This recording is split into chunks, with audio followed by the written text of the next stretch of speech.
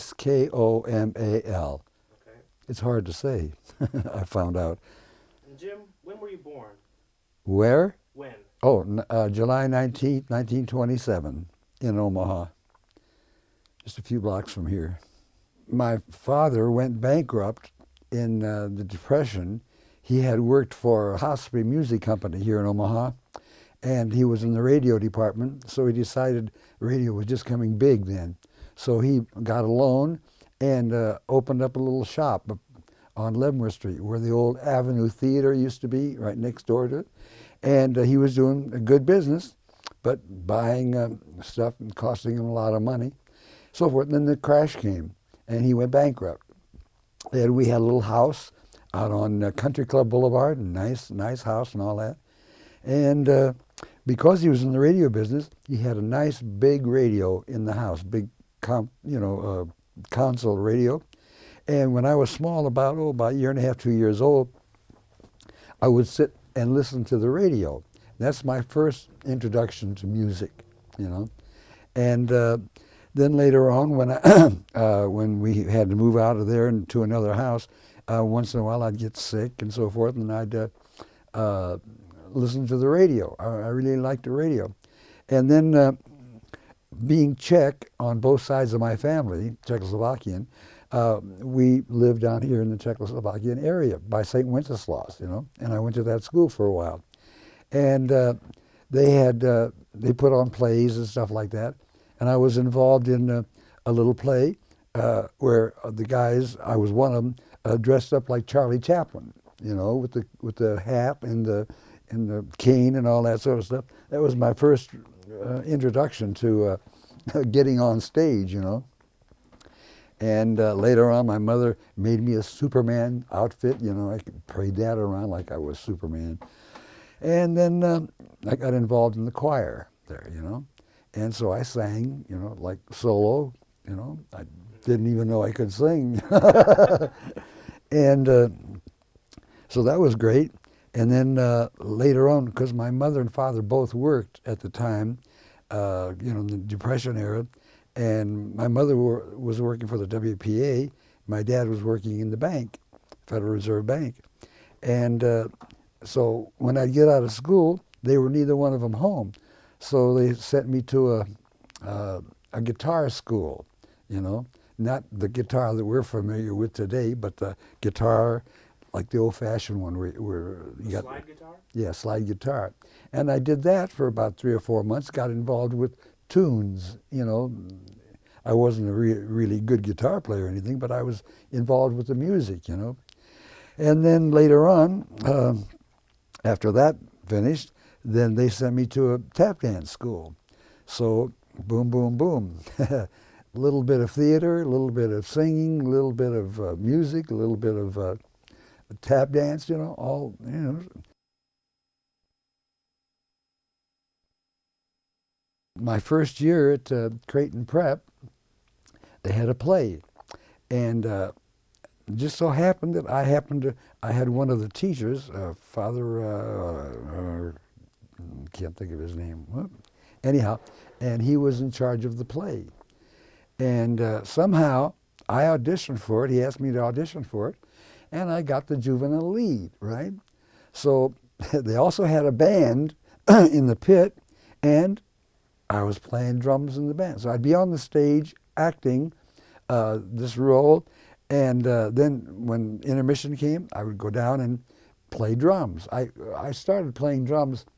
Uh, let's see, when I was about 14, uh, like I used to go to the Orpheum Theater all the time, listening to the to the different bands, and uh, I went to see Cab Calloway's band one time, and uh, the drummer Cozy Cole, he of all the guys in the band that got uh, solos, he was the only one that got a response from the uh, audience besides Cab, you know. And boy, I went home and I said, Dad, I says, hey, buy me a drum. I'd like to play drums, you know. So he did. Is that when he knew right away that that's what you wanted to do?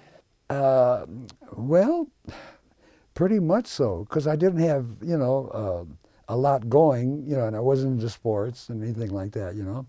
And uh, so, you know, I practiced on my drums, and then when the school play came along, I was in the band playing drums. And then after the intermission was over, I got up on stage and I had to sing a song. so I was singing, acting, and playing drums. So, and uh, later on, there were a couple of uh, uh, other schools, uh, like Catholic schools, that uh, they asked me to be in their plays, and so I was in their plays. You know, there was an ad in the paper looking for a drummer at the Omaha Community Playhouse, and uh, so I went down there to check out what the, you know, what it would be. I thought it might be a little group on stage or something, you know. And for some reason, the guy made me read for the part, right? He said, and he, well, he gave me, and he gave me the part. And I says, how come? He says, well, the guy's got to play drums. And I'd rather get a drummer and teach him how to act than get a, an actor and teach him how to play drums. So I was in that, you know, mm-hmm. and I got good reviews, really good reviews. I told him I was going to New York. And the guy, the director at the community playhouse, he said, if you're going to New York, here's a couple of names. When you get there, if you are uh, interested in acting, boom, notify these guys. And uh, do you remember who they were? What names they were? No, because no. I didn't pay attention to it at all. You right. know, I was I went to New York to play drums.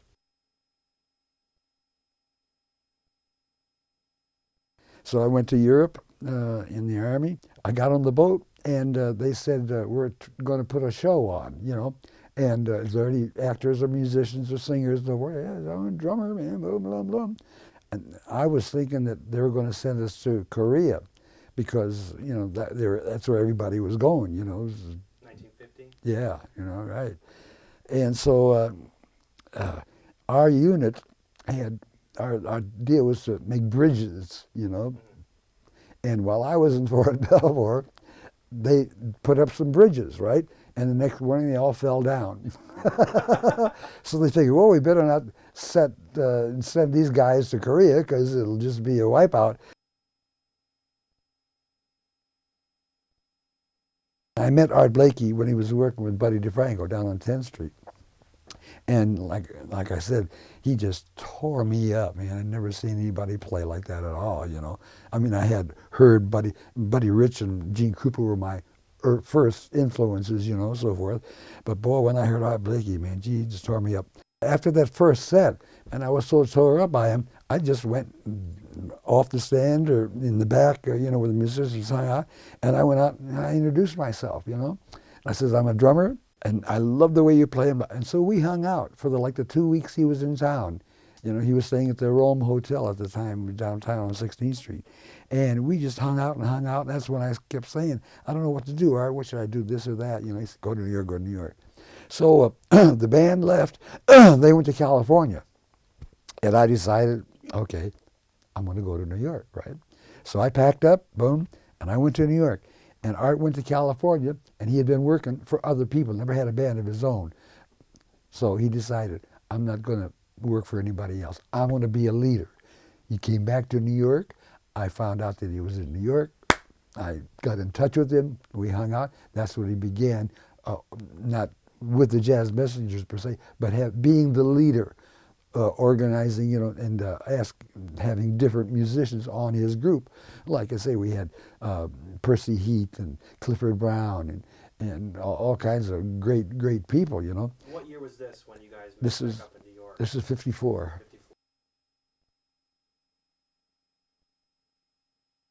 Uh, there was all the jazz clubs were were pretty well going. Birdland, because of Bird, was just opening up a place right next door, which is also downstairs. And Bud Powell was in there with Arthur Taylor, and uh, and uh, I'd, I'd go down and listen to them. Then I'd go down to Birdland and listen to whoever whoever was there. It was very heavy, very heavy. I had been influenced by Lennie Tristano. I loved his records, you know, and they weren't the standard old jazz kind of things. You know, it was like a little ethereal, a little bit different, different chord changes. It really, uh, you know, uh, enhanced me. So I went to New York to study with Lennie Tristano. Of course, I was hanging out with Art at the same time, but I tried to keep that separate. And I couldn't go on the GI Bill. They, he didn't have the proper credentials or whatever. So I decided to go to Manhattan Music School. But at the same time, uh, I was trying to work a job here and there. You know, I could finally, uh, I couldn't work steady, you know, because the musician's card and all that. But I worked a couple burlesque joints and, and with a couple, some musicians and so forth up in the Bronx and so forth. Uh, I got I got these records, man. For everybody that I've ever met, heard, listened to, been involved with, I got their records. That's that has been my thing, you know. Yeah, this is all special stuff. I've got a thing of musicians and groups and singers that I have seen, known, or played with, or taped uh, in the Omaha and in New York. So these are, you know, David Allen, which nobody knows, Karen Allison. Uh, I could go through and uh, name all the people that I've known one way or another. I've got all of uh, Lenny Bruce albums and DVDs and CDs and, uh, off of video. And uh, there's uh, all Lenny stuff here. How to talk dirty, and influence people, and the essential Lenny Bruce, tough talk, so forth, so forth. And uh, the Iran Contra was down there. and uh, ah, blah, blah, blah. These are older uh, 78s. Mhm. And this is uh, Lee Konitz and Lennie Tristano and Chetty Baker, uh, Charlie Mingus. I don't know if you're familiar with the the way out humor of Lord Buckley. No? Well, he was uh, very far out Yeah. for his time. Everything was highness, this and you know he loved everybody. And uh, I happened to be in a uh, in a restaurant in Los Angeles, and uh, I was broke, and uh, didn't have a place to stay. And uh, he came in, and we sat and started talking, and boom, he invited me to his house. Oh yeah? Yeah, and there I met uh, Red Rodney, who I knew uh, uh, from then on in Vegas because he lived there for quite a while, and then uh, I knew him in New York.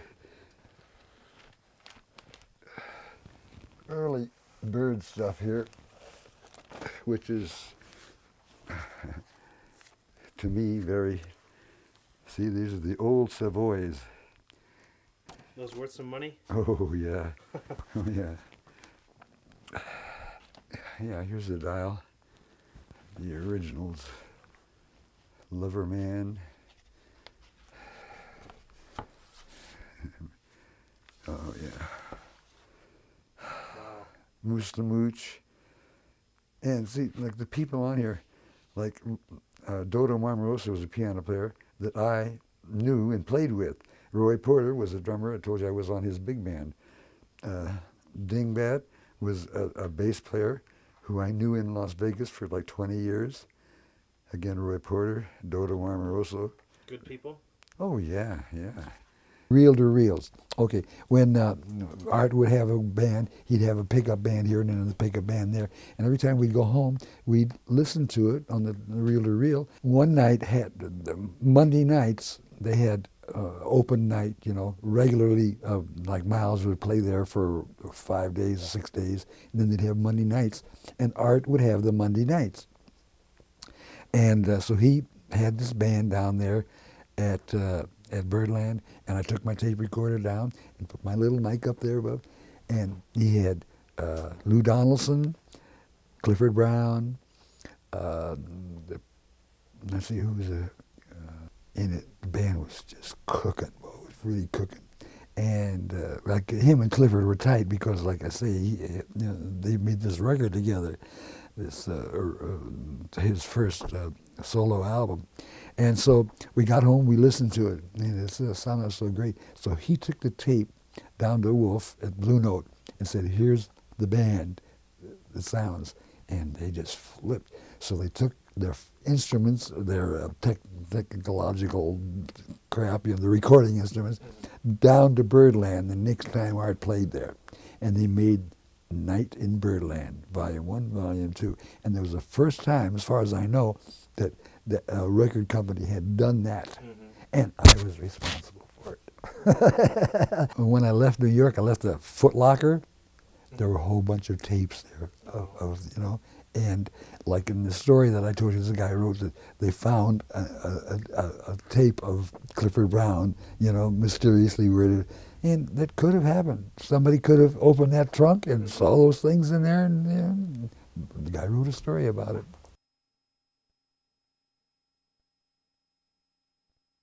In New York, it was terrible. That time, boy, they were busting everybody back and forth for s- simple shit, you know, dumb shit. I hung out in Harlem most of the time with Art after the Lennie Tristano thing broke down, and I uh, decided I didn't want to be a symphony player. I wanted to be a jazz player. So I became uh, uh, Art's handyman. I had a car in New York, which at that time, you know, was a pretty good deal. And so when Art would get a job somewhere, boom, I'd take the guys to to the job. But uh, I'd hang out in Art's Art's place, and I wasn't into. I smoked a little grass, you know, but I didn't. Uh, I didn't like to play on grass. I'd smoke it, and then when I'd go to the job, boom, you know, have a little wine or something. But uh, and everybody at Arts Pad, Thelonious Monk held out there, uh, Count Basie's band, Duke Ellington's band, all these cats were there. I sat next to Thelonious Monk passing a bag of cocaine. And these years, and this is the time, like this, like say 54, 55, when cocaine was like, uh, you nobody, nobody, everybody was doing heroin. You know, heroin was all over. You know, Thelonious Monk, man, he offers me some cocaine, and I'm going to do it, man. You know, and uh, there was a very heavy drug scene. You know, that, and I was partially on it. Woody Herman's band would come to town, and uh, I knew some of the guys on that band, and uh, they would come to me and say, "Hey, Jimmy, can you score for us?" I said, "Well, I'll try, man. I'll see what I can do." They'd give me the money. I'd go uptown, find somebody there that you know, and I'd score it. And I'd tape it to my leg, so I, you know, go down on the on the subway and so forth, and give them this stuff. But everybody was on something. Everybody was on something there. This was this was uh, it started about 1949 and 50, and uh, all all of the jazz players, the big band players, you know. But blah blah blah. I don't know if I should go into this. Talk about drugs. Okay, when I worked with I worked with Lenny Bruce at the Burlesque Club, right up on uh, right off Hollywood Boulevard, and his wife was a stripper at the time, and I was familiar with the with Herb Geller. What year is this? This was in '55. And what was Lenny Bruce's status at this time? Was he, He was uh, he was nothing at this time. He playing the strip clubs, getting strip- a name for himself? Yeah, exactly. You know, and uh, so I was working. I worked. The the drummer that was on the band went to Las Vegas with a group. You know, because he could make three times as much money. You know, so they hired me. Uh, uh, Herb Geller did, and I hung out at the time with Herb Geller, uh, Lenny Bruce, Lenny Bruce's wife, and all the musicians uh, in, in that clique. It was a little clique, and uh, so I got you know some good work out of that. But these guys were all chipping around with, with junk, you know, heroin, Heroin. yeah. And uh, so one night, man, after the job, we went down somewhere in in uh, Los Angeles, uh, the the West Side, you would call it, um, around, uh, uh, and they scored some heroin. I was standing up, boom, and it took off and so forth, and I I didn't know what it was going to be like, you know, and boom, all I did was lean against the wall and just slide down the wall and sat on my butt, you know. And uh, I don't, uh, I don't remember exactly what it was like, but uh, it was okay, I guess. And uh, I got involved in it just a little bit, but I was lucky. I got hepatitis, almost died, right? And I was turning brown, you know. And so I went to the doctor. And he says, "Hey, man," he says, "if you hadn't come in here, you'd have probably died." So I went to the Veterans Hospital. I stayed in there for like two and a half months, and got my liver straightened around. But when I got out, I was working in another burlesque joint, and uh, the guy was uh, rooming with an alto player at that time. He was into junk pretty bad, and his old lady was Mexican, and she would go to Mexico and she'd bring back this stuff, bagfuls of it, you know, and uh, I started snorting a little bit. I said, I, no, I don't want to do that. Don't want to do that. I, I got to get off of this scene because I'm not going to get involved in that. I swore I'd never shoot up again. And uh, my wife was working, and I was working. We never saw each other. We never had any social life. We couldn't hang out. I said, look, girl, I says, in, in Vegas, I can make twice the money that both of us are making down here. Boom, I quit my job. Next day a guy came in, or I, I gave my notice. Next day a guy came in, says, I heard you, you just quit your job here. Well, I got a little band, and we're going to go to Reno. You want to come? I says, yeah. So we went out, we rehearsed, boom, boom, boom. boom, I was happy to get out of town, you know.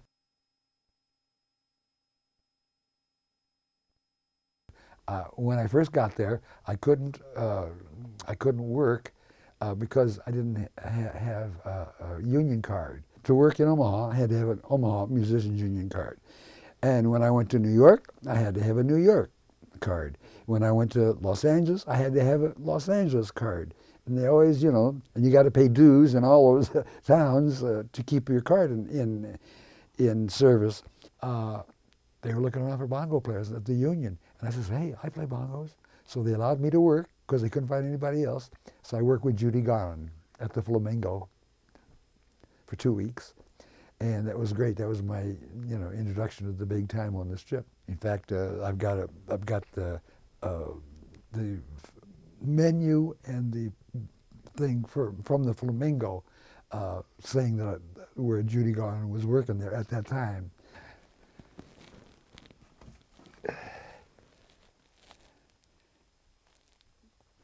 To Jimmy, I don't know, and blah, blah, blah. I can't read it.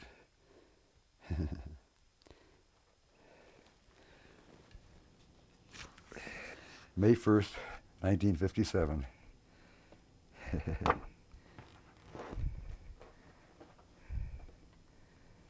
got that.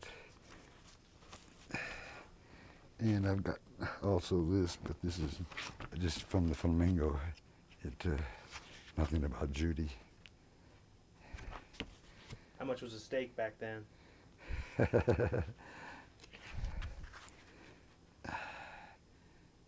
uh, 250 and I worked on I worked the Hacienda, I worked the Tropicana, I worked uh, the Sands, I worked every hotel, Riviera, Thunderbird, I worked them all uh, over the period of 23 years that I was there in Vegas and uh, worked with Don Rickles, and I quit him because I couldn't stand him. He was a complete asshole, and and he would make the musicians on the band scapegoats for his jokes.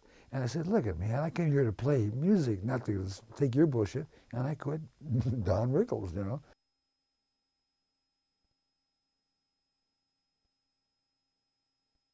Um, uh, the, the, the people that ran the joints at that time, they didn't uh, pay attention to uh, the, the clubs or the rooms or the food. They wanted the money from the gambling. So boom, we had, you know, they hired good bands here and there. Um, but as soon as uh, Howard Hughes came to town, he changed it all, made it like a factory. They didn't give a shit if the musicians came to work or anybody, because they were the, the the Food had to make money, the rooms had to make money, the clubs had to make money, and it was like uh, I, I just didn't like it. That's one of the reasons why I I worked at the Stardust off and on for about a year, but it was again working in a factory, like you know. And there was some good musicians on the band, but we had to play the same show night after night after night, same, you know, no, can't change one note, one beat, you know. Can't play jazz. No, can't play jazz, you know. So uh, I, I, didn't like that, but uh, I, at the time, I say I was uh, married and uh, had to have a, a, good salary to keep my home going, you know. So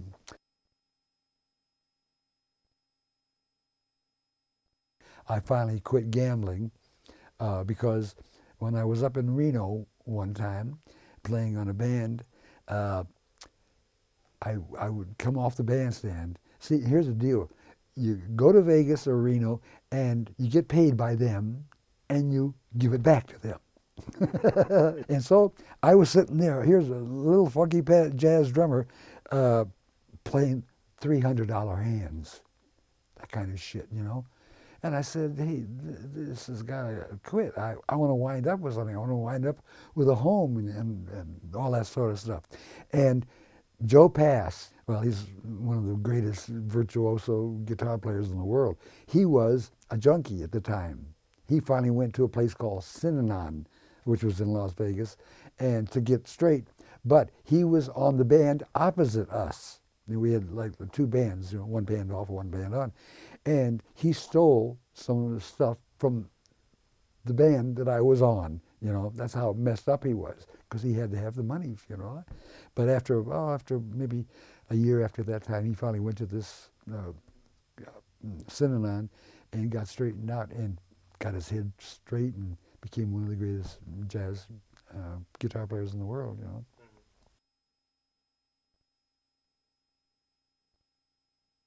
When uh, I was in Vegas, and a friend of mine came to the door and said, the Kennedys uh, Kennedy just been shot get up and turn the TV on. So I did, and when I saw uh, the the uh, group of guys who were his cabinet, they were on their way to uh, Ho- from Hawaii to Vietnam to oversee the process that was going on there.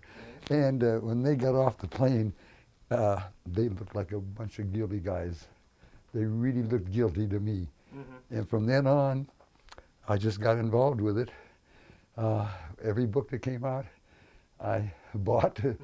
These are everything involved with JFK, paperbacks and hardbacks. These are all JFK, JFK, JFK, RFK too, and T- Teddy Kennedy. These are more Gordon Liddy and Oswald's game. These are all more assassination stuff. Uh, Who's this pretty lady, Jim?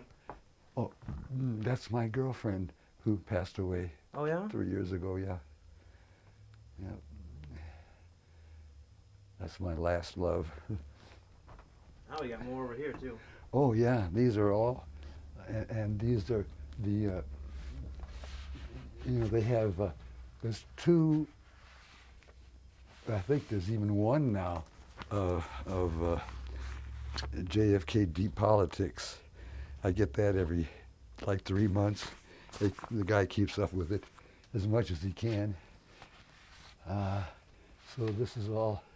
There's somebody made that head for me, and here's your old JFK for President buttons. Oh, wow. My wife and me were living in Las Vegas at that time, and uh, I decided to get involved with uh, with politics because I liked Kennedy at the time, and uh, so we got a notice that one of the congressmen is going to be in the neighborhood. Would we come down and talk to him? You know, listen to him. And I said, sure. So it was raining and drizzling. It was a drag, but we went anyhow. Got down there, and blah blah blah. We're talking, and they had a TV set, and uh, some lady in the crowd said, oh, there's that lovely lady now. And it was Pat Nixon. And I says, oh my God, Betty, we're in the wrong place. so we split. There's a more. These are all. Is that a? It's all Kennedy. Wow. All the way down to the bottom. Oswald Kennedy, uh, uh, Bobby Kennedy, and then uh, all of these here. I got uh, 426 books. Just on Kennedy? Yeah. Wow. You read them all? Not most of them. Wow. and then I've got all these tapes that have been put out mm-hmm. uh, about the assassination and all that, you know. Uh, we would work uh, a couple of weeks in, like I say, uh, Phoenix or a couple of towns here and there and but it wasn't anything really steady, you know, no record dates or anything like that. And uh, so I got to the point where I said, well, I'm just I'm going to give it up. I, I, I was involved with the Catholic Church. I was very end of the Catholic Church through Teilhard de Chardin, uh, um, he, who wrote uh, The Phenomenon of Man. Being involved with the, with the Catholic Church, they had a high school there.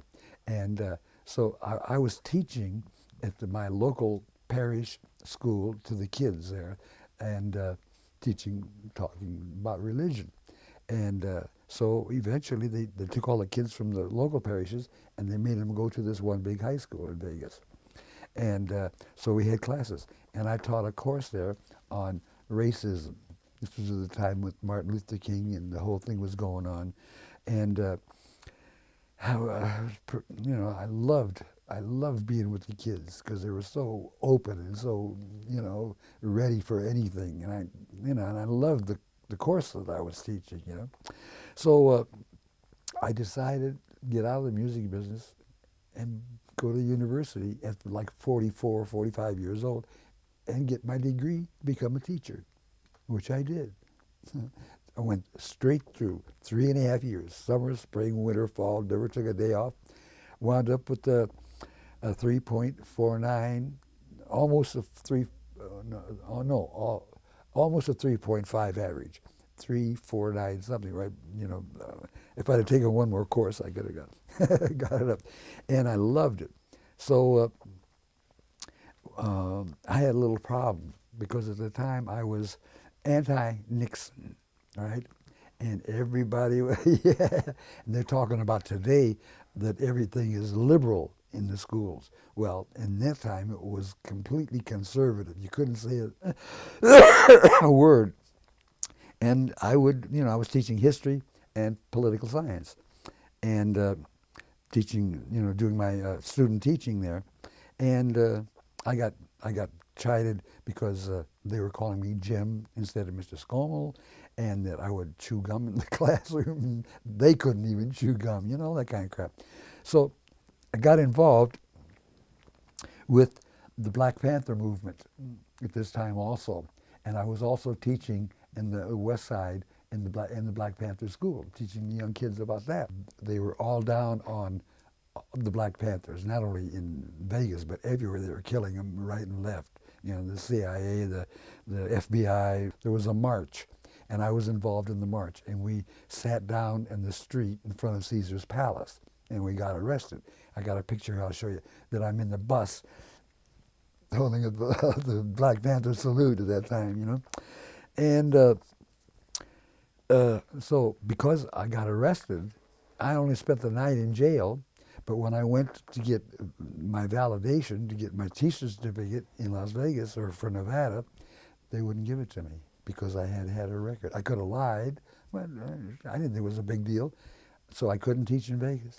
I tried, they had new schools and so forth in Los Angeles and San Francisco, and I tried there, but being out of state and they didn't know me and so blah, so I couldn't teach. I went through three and a half years to become a teacher and they would let me teach. Again, I was still involved with a little bit with the church thing. And uh, I went to this priest there in, in, this one parish and I said, uh, I'd like to get involved with something with kids, you know. He says, well, we don't have any programs like that. Uh, so I went to a place called Focus. It's a runaway house. It was um, privately funded. It wasn't a state thing or, or, or county or, or, federal thing. It was just a guy who had been to Synanon, a guy from Las Vegas, was a junkie, got straightened out, came back, and started this place called Focus to help young kids in trouble runaway family troubles and all that. So I, I, I just went there. I just went there one day, you know, because I knew a couple of people that had uh, that were involved in it. And uh, I says, well, what can I do? Says, See that kid over there? Go sit down and talk to him. You know, I didn't have any counseling uh, knowledge, you know, so I did, and I became a volunteer. So I was there about four months as a volunteer, and they put me on staff became a staff. So that was great. I wasn't playing. I said, no, I'm going to stay with this, you know. And uh, of course, I had a couple of groups come by and play for the kids and stuff like that, you know. This fella and his wife had been uh, a, a, dealer in New Jersey, when it was still illegal. And they came to Las Vegas to get out of that scene, and because it was here, you know, he could work here in Vegas uh, legally. So he had a job as a dealer in one of the clubs, and she volunteered at this place called Focus. You know, so I got to know her, and she was beautiful, and he was a great guy. And so uh, I would come on and work the late shift, and she would work the early shift. So uh, I was coming to work, and there she was, and I said good night. I wish I could remember their names. Damn. Anyhow, so uh, and as she was leaving the door, and she was really beautiful. And so I went like that, like nibbling her ass, you know. and uh, she went down to the club, picked him up. They drove up to their house, went through the gate. Just as they were about to enter their apartment, two shotgun blasts killed them both because he was subpoenaed to, to uh, testify about the mob affiliations, and evidently he knew a lot, and they killed him. That was the mob. Yeah, killed them both. Did she tell you about that he was testifying, or? Yeah, sure, I knew about that. Were they scared, or? No. Right. I didn't notice that they were scared. I mean, they never told me, you know. But that was, and so that that really, and and I went to their funeral and I had to give a speech, and I said, "This is America, where you're supposed to tell the truth, and if you tell the truth, and I still just believe this today, you tell the truth and you get axed." Because you can't say like they got this whole free speech. You can speak anything you want, but you got to pay the consequences you know? And who's going to take their life into their hands? Free speech is a bunch of bullshit.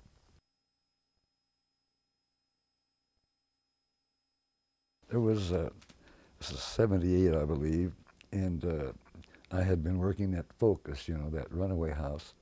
And uh, there was nothing left for me in Vegas. I didn't want to play anymore. I couldn't teach.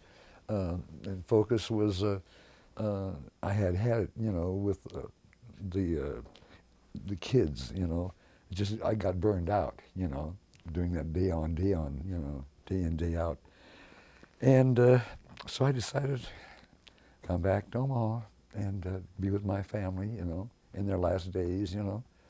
So I did, and I came, I uh, I lived with them for about two months. And that wasn't quite it, and so what I just. wrong there? What do you mean that wasn't it? Well, you know, being, you know, 55 years old, I mean, living with your parents, you know, oh, and sure. no freedom, so everything.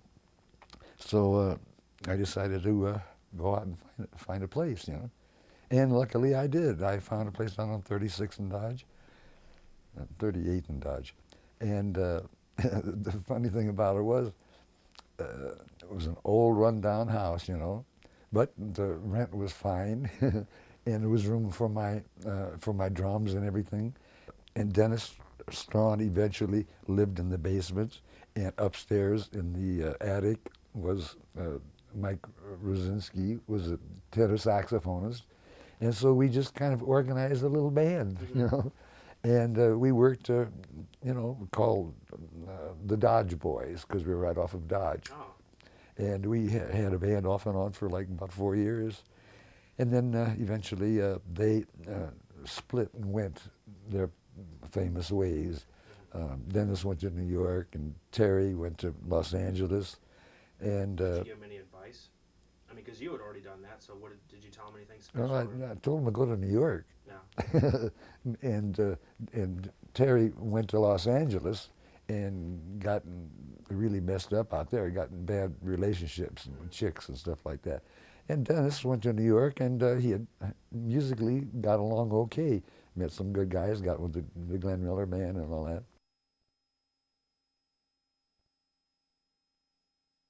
I finally moved out of that place, and I had my son living with me, and uh, he was a drummer too. You know, picture there. It was a bad scene. It was a bad scene. Yeah, he was a beautiful kid, and Could have been a movie star. He was so handsome, so beautiful and he played his ass off, you know, and he just got in with bad crowds, you know, and uh, got HIV. Yep. So that's about all I'll say. Sure.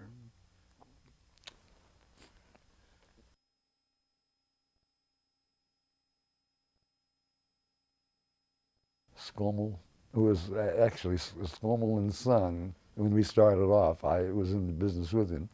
And uh, that was in like 1947 or 48. And then uh, when he got into just the, the TV business, it was just Skomal TV, you know, and electronics and stuff like that.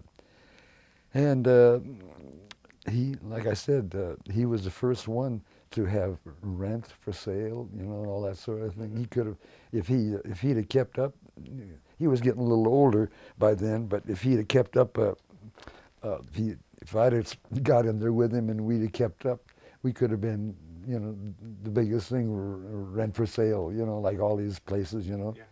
But uh, uh, we didn't. We, and finally that petered out. You know, they they, they burned us out of that. And, What happened? Who who was responsible for that? Do you think? well, all of th- these big uh, places came in, you know, and uh, you couldn't compete with them. You know, you couldn't compete. Uh, like I, I don't. I mentioned last night that uh, if you sell, if you buy merchandise, you can only a small place like you can buy one or two or three, and you don't get any discount. But you have to buy 50 like uh, Best Buy and, and Nebraska Furniture Mart. And then when I, if I was lucky enough to sell something, then the people that that I was selling to were deadheads and wouldn't pay. so the business just started going down, you know. So I couldn't, uh, I couldn't pay the bills, you know. So I decided to quit it. No, none of the, none of the small dealers in anything can compete in anymore, you know.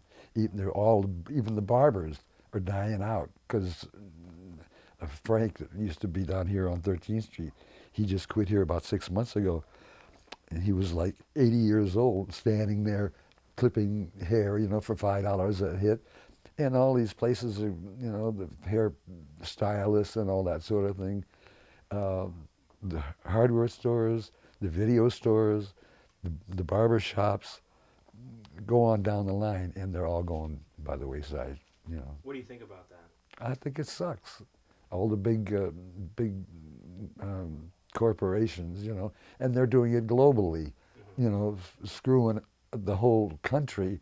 You know, and uh, that's the way it's going. It's what can you do about it? You know, bitch and bitch and bitch. Nothing you can do about it. Yeah. Well, like uh, um, it's nothing, you know. I mean, they had the Grammys here the other day, you know. Well, I didn't even watch it, you know, because there's nothing in there that I that I want. You got pretty chicks, you know, um, and all that, and the, the guys singing stuff that don't make any sense, and it's loud, and it's uh, screw it. And they take uh, their money and put it behind certain artists to make to make money out of them, you know, force them on the public, and the public doesn't know. The average kid, you know, They just know they're supposed to like it. yeah, Or, or their friends like it, you know, Yeah. and so they or they're square if they don't, you know, it's a drag. Just like the rap thing is bad for music, period. You know, all they're doing is uh, singing, or not even singing, talking, you know, to a beat, Mhm. you know, and uh, I don't like it. Yeah, it's a pain in the ass, but what are you going to do? That's right. I don't know where it's going to go. I don't know. Uh, jazz is uh, going to peter out, you know, and all will be left are the archives of the old greats and stuff like that, you know, because there's no young cats coming up that could, are really changing anything, you know. What can you change, you know? So it's a drag. Uh, uh, all of the arts are going down the drain, and nobody is supporting it. They don't support it in the schools. They don't have any music teachers in the schools. They don't have painting. They don't have, uh, uh, with this conservative uh, milieu we live in, they don't give a shit.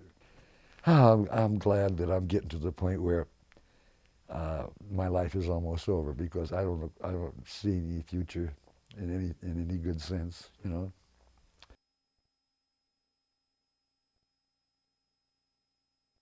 I'm not, I don't have a lot of complaints. You know, if I had my life to live over, there's not a whole hell of a lot I would change. I wish my marriage would have been a little bit happier and all that sort of stuff.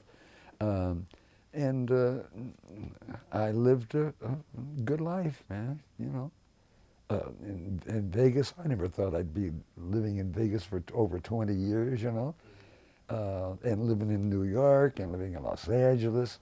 Who, who knew? You know, just a, I'm lucky. Yeah, that's all. That's all I can say. And I'm lucky because I got there's so many things that interest me. You know, uh, the books and the recordings and uh, everything that you know life just is full of crap.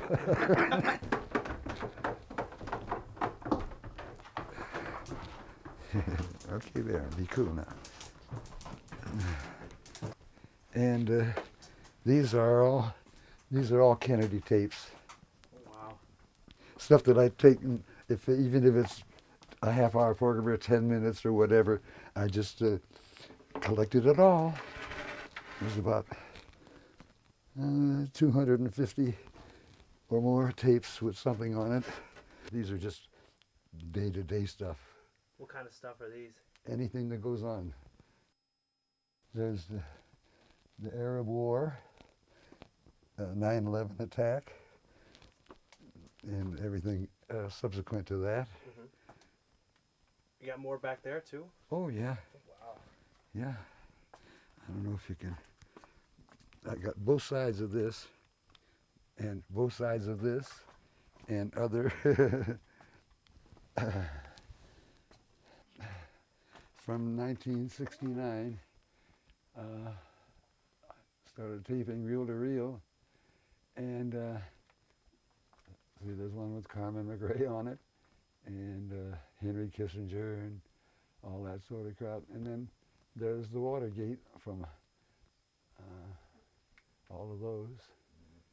And those are all Watergates. Got a com almost complete Watergate transcript. Ayn Rand, mm -hmm. these are all books about her, objectivism.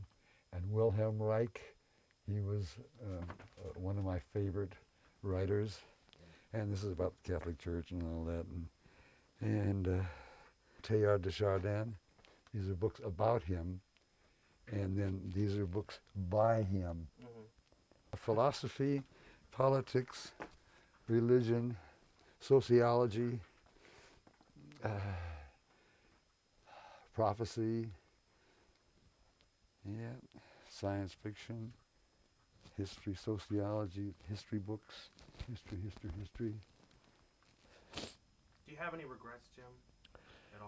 No, not too much. Like I say, uh, I regret that uh, my marriage wasn't better. That would have been fine, but what the hell? Happy endings, ah ha ha. You know. um, I'm sorry my son died early. Father, uh, son isn't supposed to die before the father. And uh, I, regrets. No, no regrets. I wanted to be a star. I wanted to be a singer. I wanted to be a great drummer. You know, I wanted to be an actor, painter. You know, the whole thing, and it just never really worked out. You know, I had other other things going on, and uh, like I say, I have, I have no regrets. You know. Uh, so what are you going to do? You know. Uh, I hope that uh, that uh, people that know me, musicians that I've worked with, or people that, you know, that uh, uh, I'm familiar with, uh, have good memories, you know. what can I say? If they don't, screw them.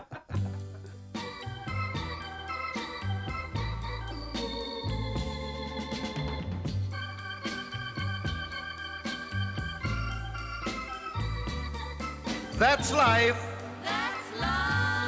That's what all the people say. You're riding high in April, shot down in May. But I know I'm gonna change that tune. When I'm back on top, back on top in June. I said that's life. That's life. And as funny as it may seem, some people get their kicks stomping on a dream. But I don't let it let it get me down. Cause this fine old world, it keeps spinning around. I've been a